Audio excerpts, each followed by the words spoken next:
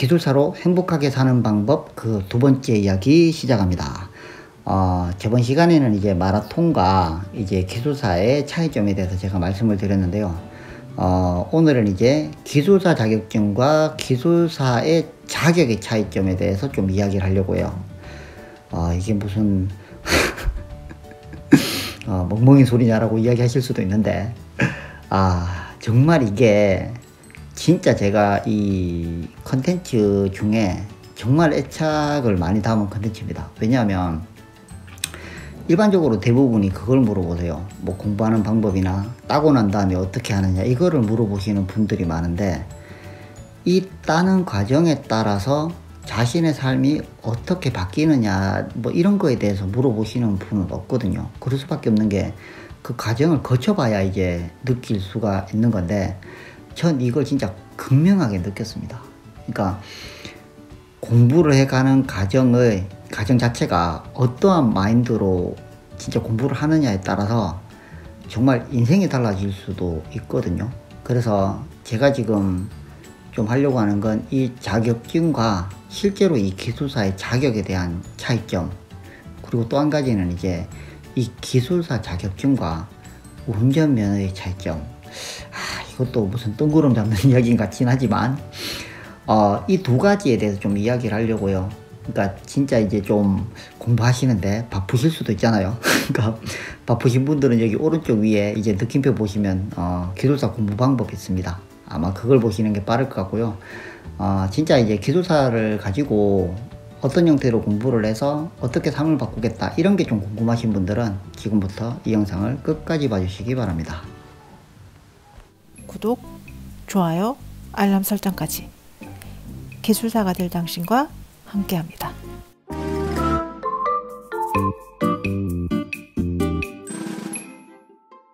안녕하세요. 대한민국 최고의 기술사 브이로그를 꿈꾸는 기술사 브이로그의 엘카멘입니다. 예. 어, 오늘은 이제 제가 기술사 시험을 칠 때 이제 특강이라고 해서 보통 보면 이제 이 정식 그 공정 강의가 있고요. 특강이 있는데 이 특강을 뭐 시공 기술사든 뭐 전기 쪽이든 뭐 토목 쪽이든 이제 이걸 제가 진짜 골고루 많이 들었어요. 근데 이걸 들었을 때 대부분이 이제 공통적으로 하는 이야기가 이거거든요. 그러니까 이렇게 하시, 이야기하시는 분들이 정말 많아요. 그러니까 기술사 시험은 시험이기 때문에 이제 시험에 포커스를 맞춰서 준비를 해야지 어, 정말 이제 자기가 모르는 게 있다고 그걸 계속 파고들면 안 된다라는 게 거의 정설입니다. 대부분 다 그렇게 이야기를 하시고요. 그리고 저도 어느 정도 동의는 해요. 어, 그런데 제가 여기에서 약간 조금 이제 의견이 다른 것 중에 하나가 어, 저는 솔직히 기술사 시험을 빨리 따는 방법은 몰라요. 제가 물론 빨리 따긴 했지만 그게 이제 정말 아는 문제가 많이 나와서 빨리 딴 것이지 제가 진도가 다 나가서 빨리 딴 건 아니거든요. 그리고 공부하는 방식 자체가 이제 빨리 따기 위해서 했던 공부 방식도 아니었고요. 근데 저는 빨리 따는 방법은 모르지만 어느 정도 기간이 지나면 거의 90% 이상 따는 방법은 제가 알아요. 제가 그 길을 갔기 때문에. 그리고 또 한 가지가 이걸 따고 나면 한 단계 정도 업그레이드가 되는 사람과 이걸 딱 따고 났을 때 진짜 10단계 정도 업그레이드 되는 사람과 인생이 바뀌는 사람이 있어요. 그러니까 이 차이도 진짜 극명하거든요. 이거는 정말 제가 이야기해 드릴 수 있을 것 같아요. 자, 일단은, 음, 면허증 이야기를 좀 하려고 하는데, 이제, 어, 기술사도 이제 등급이 있잖아요. 이 면허증도 똑같이 등급이 있지 않습니까? 이제 만약에 이 자동 면허 그러니까 오토 면허가 이제 기사라면 이제 대형 면허가 기술사에 해당이 되겠죠. 그러니까 두 개의 차이점은 이제 말 그대로 뭐 오토만 몰 수 있느냐 버스를 몰수 있느냐 그런 것처럼 기술사도 이제 하게 되면 할 수 있는 것들이 기사보다 훨씬 더 많아지거든요. 그런데 이제 사람들이 이 운전면허증을 따고 나서 만약에 자, 자기가 이제 대형 면허가 있어요. 그렇다고 해서 이런 의무는 안 가집니다. 어, 대형 면허를 딴다고 해서 버스를 주는 건 아니잖아요. 그러니까 대형 면허를 딴다고 해서 자기가 바로 버스를 몰 수 있는 건 아니거든요. 그러니까 예를 들어서 이제 제가 뭐 NF 소나타 아 이게 10년 훨씬 넘었는데 음 그러니까 이거를 지금 타고 있는데 제가 이제 일종 면허를 땄어요. 그렇다고 해서 뭐, 뭐 대부분이 집에 버스를 이제 보유하고 있는 건 아니니까 버스를 바로 몰 수는 없거든요. 그러니까 제가 이제 그걸 따면은 버스 드라이버를 할 수가 있는 거죠. 이제 제가 버스를 사기 위해서는 뭔가 제가 돈을 벌어야 버스를 탈, 진짜 살 수가 있습니다. 그런데 기술사를 딱 따잖아요. 그러면 제가 기술사를 딴다고 해서 제가 타고 있는 차가 예, 제가 지금 소나타를 타고 있지만 기술사를 딴다고 해서 제 차가 소나타에서 벤츠로 바뀌진 않아요. 그러니까 이제 말 그대로 이걸 딴다고 해서 제가 버는 수입 자체가 급수적으로 늘지는 않는다는 거죠. 그러니까 이건 이제 예를 들면 만약에 어 일종 대형 면허를 따신 이제 기사분이 있어요. 그런데 이분이 이제 꿈이 버스를 가지는 거예요. 만약에 이분이 버스를 살려면 뭐 방법이 말 그대로 이제 버스 기사 이제 업을 열심히 해서 돈을 벌어서 이제 버스를 사는 방법이 있겠죠. 그리고 이제 뭐, 뭐 실제로 이제 유튜브에다가 이제 대형 면허를 따는 방법이라든가 뭐 여행이라든가 뭐 이런 거를 해서 뭐 돈을 벌 수도 있는 거고요. 돈을 버는 방법은 여러 가지지만 한 가지 확실한 건 어떻게든 자기가 어떠한 방식으로든 돈을 벌어야 버스를 살 수가 있습니다. 그러면 여기에서 제가 어, 이전에도 좀 여러 번 말씀을 드렸는데 기술사가 과연 직업인가 이 이야기를 진짜 좀 하고 싶거든요. 기술사는 자격증이지 직업이 아니에요. 그러니까 만약에 기술사를 땄다고 해서 제가 만약에 A라는 회사에 다녀요. 그런데 제가 기술사를 땄어요. 그렇다고 해서 바로 그걸 가지고 이직을 한다거나 하는 경우가 생각보다 그렇게 많지가 않습니다. 대부분이 기술사를 따더라도 자기가 하고 있는 현업을 계속 하게 되실 가능성이 많아요. 단지 이제 어, 그 현업이 이제 현업이 아니게 되었을 때에 대한 이제 보험이라든가 뭐 이렇게 생각하시는 분들도 있고 이걸 가지고 다양하게 이제 생각하시는 분들도 있겠죠. 어, 만약에 이제 그렇게 기술사가 직업이 아닌 경우라면 어, 내가 기술사를 땄어요. 근데 제가 이제 차를 바꾸고 싶은 거죠. 아, 이제 차를 바꾸고 싶은데, 아, 아, 저 차 타고 싶습니다. 저 차. 바로 바꾸고 싶은데, 음, 그러면 이제 말 그대로 수익이 늘어나야 좋은 차를 탈 거 아니에요. 그러면 기술사를 따고 수익이 늘어나는 방법은 뭐 여러 가지가 있겠죠. 그러니까 뭐 기술사로 창업을 할 수도 있고요. 어, 예를 들면 뭐 자기가 있는 회사보다 훨씬 더 연봉을 많이 주는 대로 이직을 할 수도 있겠죠. 또 한 가지는 이제 뭐 기술사를 따고 자기가 이제 거기에 대한 기술력이 많이 늘어남에 따라서 이제 인정도 받게 되고 고과도 좋아지고 승진도 하게 되고 이러면은 이제 수입이 조금 더 늘어날 수도 있는 거고요. 그러면 또 한 가지는 이제 회사를 다니면서도 뭐 유튜브를 한다거나 뭐 여러 가지를 해서 부업을 마련할 수도 있겠죠. 제가 지금 하려고 하는 건 이제 회사를 다니면서 뭐 1인 기업체처럼 무언가를 만드는 거를 꿈을 꾸고 있어요. 근데 이제 이게 꿈이다 보니까 명확하게 뭐라고 아직 지금은 말씀드리기가 조금 애매해요. 그래도 무언가를 꿈꾸고 있는 건 맞아요. 그러니까 이런 것처럼 이제 여러 가지 꿈을 꿀 수가 있는데, 어, 제가 이제 조금 이야기를 하고 싶은 거는 이 개념이에요. 저도 이전 영상에서도 말씀드렸지만 저도 뼛속까지 엔지니어거든요. 이제 뭐 진짜 말 그대로 이제 이과 나오고 공대 나오고 그냥 건설사를 다니는 뼛속까지 엔지니어지만 엔지니어들이 이제 주로 이 판매라는 개념에 대해서 상당히 약해요. 저도 그랬어요. 그러니까 제가 뭐 열심히 현장만 다니고 그 다음에 어떤 것들에 대한 기술적 자문은 하는 데는 익숙하지만 제가 무언가를 판다는 개념 자체에 대해서는 너무 안 익숙한 거예요. 그런데 이게 잘 생각해 보시면 우리는 무언가를 매일매일 팔고 있습니다. 어, 그러니까 직장인은 결과적으로 자신의 시간과 노동력을 판매를 해서 월급을 받는 사람이잖아요. 그러니까 이 개념이 저는 진짜 중요하다고 생각해서 한 번 더 강조를 드리고 싶어요. 그러니까 이거를 모르면 자기가 무엇을 파는지를 모르면 그 가치를 올려야 되겠다는 생각 자체를 안 할 수도 있어요. 그런데 자기가 만약에 자기의 기술력을 팔거나 시간을 팔거나 서비스를 판다는 생각이 들면 아, 나의 기술력과 서비스에 대해서 판매가 잘 되면 나에게 이익이 돌아오니까 이런 거에 대해서 마케팅을 해야 되겠구나라는 것에 대해서 생각이 확장이 되게 돼요. 그런데 만약에 제가 이러한 것들이 판매의 개념에서 봤을 때 과연 이제 어 제가 무언가를 판다면 저의 기술력을 팔 것 같아요? 아니면 자격증을 팔 것 같아요? 아, 전 진짜 이거가 정말 명확하다고 봅니다.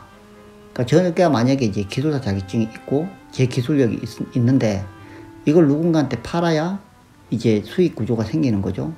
근데 이 둘 중에 무엇을 팔아야 되느냐?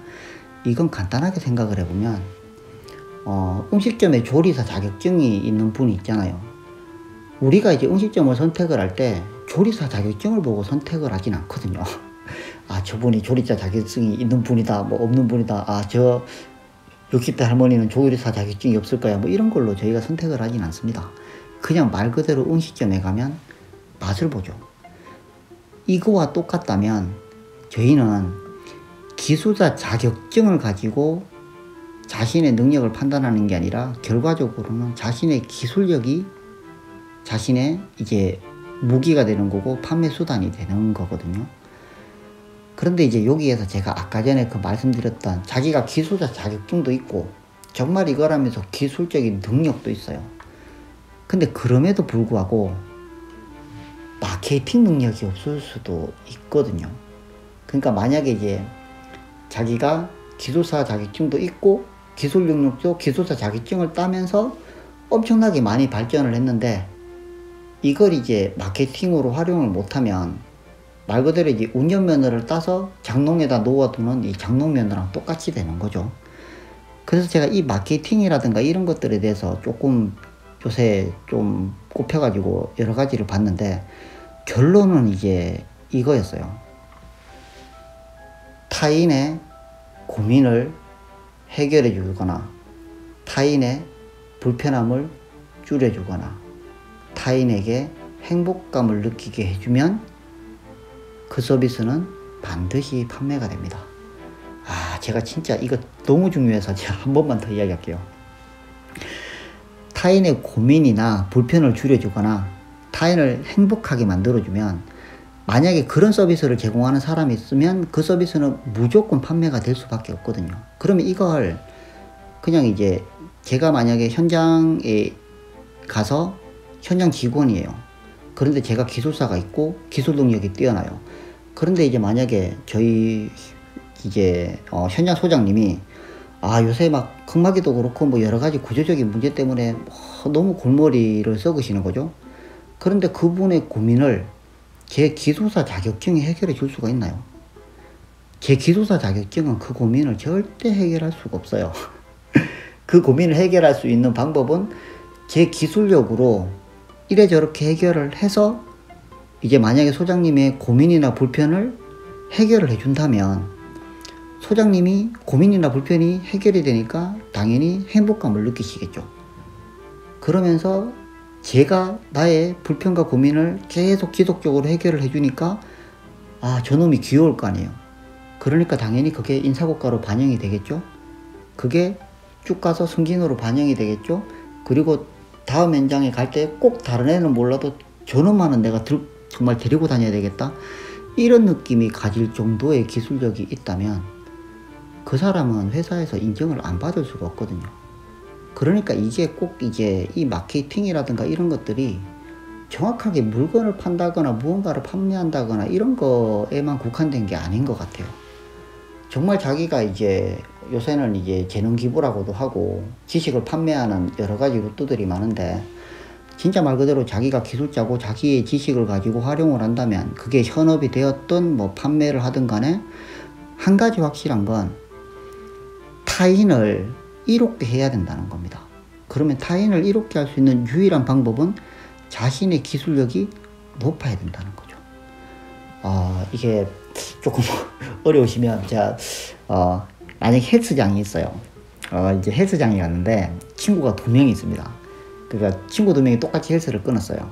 근데 이제 얘가 한 명은 이제 어 그냥 말 그대로 상체에 막 가슴이 조금 불룩해지고 어깨도 넓어지고 이렇게 해서 막 여자들한테 인기가 좋았으면 좋겠어요. 그리고 이제 헬스장에 가더라도 뭔가 막 무거운 거를 들어가지고 이제 자신의 힘을 과시하고 이런 거에 이제 꼽힌 거죠. 그러면 이제 걔는 뭐 정확하게 따지면 이 몸의 자세라든가 뭐 식단이라든가 이런 거에 대한 관심보다도 어떻게든 이제 상체부터 빨리 만들어서 이제 여 자들이 지나가면 뭔가 이제 판 몇 개 더 끼워가지고 힘 자랑하고 이런 거에만 이제 신경을 쓸 가능성이 많아요. 이제 그런 사람들이 이제 3년 정도 지나면 어, 몸도 불균, 불균등해지고 이제 몸이 이쁘지도 않고 이러다 보니까 이제 헬스를 그만두게 됩니다. 그런데 이제 같이 시작을 했던 한 친구는 목표가 보디빌더인 거예요. 자기 몸을 이쁘게 만들고 싶어요. 그러면 이제 걔는 정확하게 어느 부분에 힘을 줘야 되고 어떤 계획을 짜고 어떤 식단으로 해야 되며 뭐 그 다음에 실제적으로 자세는 어느 것이 좋고 몇 킬로그램을 어떻게 하겠다라는 것까지 다 루틴을 짜서 관리를 할 거 아니에요. 그러면 만약에 이제 걔가 그 상태에서 3년 정도를 지났어요. 그러면 이제 걔가 아마추어 대회에 나가서 뭐 입상을 했습니다. 어, 그리고 난 다음에 이제 시간이 더 지나서 이제 말 그대로 정말 유명한 헬스 트레이너가 됐어요. 이러면 똑같이 시작을 했는데 결과는 다르잖아요. 이게 뭐냐면 자신의 근육이 계속 늘어나듯이 우리가 기술사 공부를 하면 공부 근육이 늘어나요. 그런데 이 공부 근육이 진짜 실전에 쓸 수 있는 근육이 될 수도 있고요. 정말 실전에서 쓸 수 없는 근육을 키우고 있을 수도 있습니다. 그런데 똑같이 만약에 이제 기술사를 따는데 뭐 예를 들면 뭐 한 4개월에 따는 사람도 있고 막 1년 넘게 따는 사람도 있잖아요. 그러면 그 많은 시간 동안을 이제 공부 근육을 쌓는데 정말 실전에도 쓸수 없고 진짜 보디빌더 대회도 나갈 수 없는 그런 공부 근육을 쌓으면 아, 그 시간이 너무 아까운 거죠. 그리고 또 한 가지가 이제 이야기를 좀 하고 싶었는데 이 사이클에 대한 이야기입니다. 이 뭐냐면 아 이게 몬동 이야기는 아니거든요. 예, 자 어떤 사람이 사이클을 타고 있었어요. 그런데 옆에 이제 스쿠터 한 대가 지나가요. 어라 이러면서 그 스쿠터를 따라갑니다. 이 사람이. 그런데 이제 한 시간 정도를 막 미친 듯이 밟았는데 아 막 힘이 드는 거예요. 그래도 일단 저 스쿠터는 잡아야 되는 거죠. 막 밟다가 이제 한 두 시간 정도 되니까 아 막 다리 뭐 뭔가 막 인대도 파열된 것 같고 막 너무 힘든 거예요. 그리고 이제 3시간, 아, 차라리 이제 얘가 시야에 사라지면은 잡지라도 않겠는데, 뭐, 뭔가 잡을 수 있던 것처럼 막 계속 보여요. 그래서 쎄빠지게 가서 한 거의 한 3, 4시간 정도가 흘러가지고, 바로 옆에 있는 그 약국에 세워져 있는 그 스쿠터를 발견했어요. 이 세운 거죠. 스쿠터는 잡았습니다. 아, 근데 이 사람은 앞으로 뭘 해야 됩니까? 그러니까 이 사람은 스쿠터를 잡는 거 빼고 스쿠터를 잡고 난 이후에 뭘 해야 되겠다는 계획이 없었던 거죠. 그냥 스쿠터만 잡은 겁니다. 그런데 만약에 이제 이런 사람들이 어떤 유형이냐면 아, 정말 기술사 시험을 치는데 아, 정말 제 이전 영상에도 말씀드렸다시피 이런 분들 계시거든요. 아, 진짜 웬만한 정말 각오가 아니면 기술사 시작도 하지 마라. 어, 뭐 밤을 새면서까지 했다. 뭐 거의 인간 생활이 아니었다. 가족들도 못 볼 정도로 뭐 고시촌에 처박혀서 했다. 뭐 이렇게 이제 막 시작도 안 하는 사람한테 기술사에 대해서 막 겁을 주시는 분들이 있어요. 자기가 죽을 똥 살똥 했다라고 막 겁을 주시는 분들이 있거든요. 그런데 주변을 이렇게 돌아보면 그 나름 즐겁게 하신 분들도 있습니다. 진짜 저는 어, 좀 길게 호흡을 두고 갔기 때문에 정말 이제 사이클을 타는데도 그냥 막 미치듯이 뭘 잡겠다라는 게 없었어요. 그러니까 저는 목표 자체가 기술사가 3개였고 언제까지 따겠다는 게 없다 보니까 그냥 공부를 하다 보면 딸 수 있겠다라는 생각이 들어서 그냥 그 길을 달린 거죠. 근데 그렇게 이제 사이클을 타다 보면 그냥 한참 가다 보면 이제 약국에 되어져 있는 그 스쿠터는 보여요. 그런데 이렇게 사이클을 타신 분들은 한 가지 조금 차이는 있는 게 약국에 있는 그 스쿠터를 딱 보잖아요. 그러면 아 여기까지다라고 해서 그 자전거를 세우지 않습니다. 왜냐하면 그 약국의 스쿠터를 보는 게 목적이 아니잖아요. 그래서 그냥 약국의 스쿠터를 보고 음 그러고 난 다음에 이제 다시 가는 거죠. 그러면 이제 가다 보면 이제 뭐 할리 데이비슨부터 시작해서 뭐 여러 가지 많은 것들을 보겠죠. 어, 제가 좀 말씀드리고 싶은 건 이제 공부 과정이 저는 솔직히 좀 여행이었으면 해요.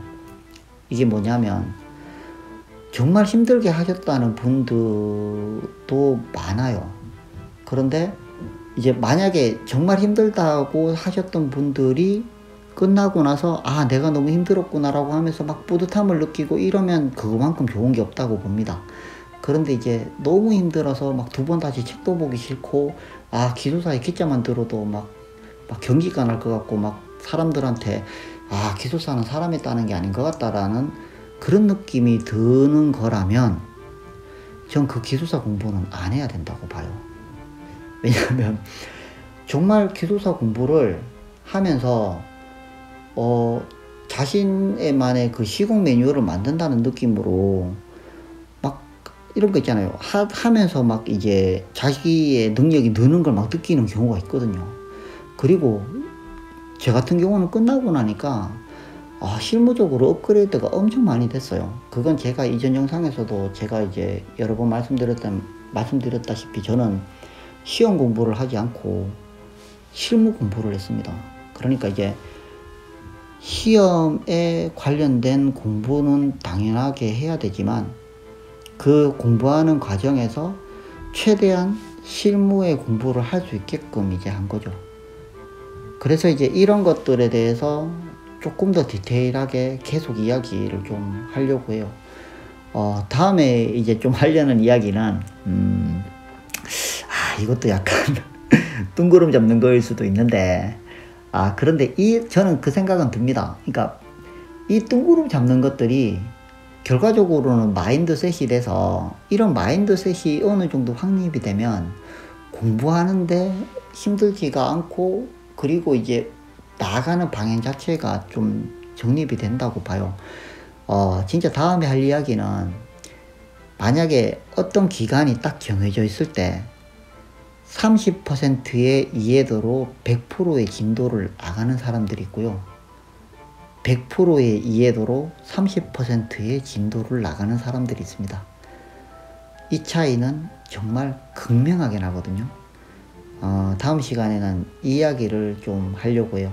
그리고 좀 시간이 나면, 어, 자를 써야 되냐, 이걸 물어보시는 분들이 엄청 많거든요. 제가 이걸로, 어, 질문 받은 게 진짜 한 일곱 번이 넘는 것 같아요. 그 제가 지금 이거에 대한 좀 확고한 제 생각은 있긴 한데 이게 약간 좀 민감해서 좀 정리가 되면 이것도 꼭 영상으로 제가 만들어 드릴게요. 이, 이것들도 진짜 말 그대로 이제 공부를 위해서 하느냐, 실무를 위해서 하느냐의 연장선이 될 수도 있을 것 같아요. 자, 오늘 이제, 어, 기술사로 행복하게 사는 방법 두 번째 시간 마치도록 하겠습니다. 구독해주신 많은 분들께 감사드립니다. 구독, 좋아요, 알람 설정까지. 기술사가 될 당신과 함께합니다.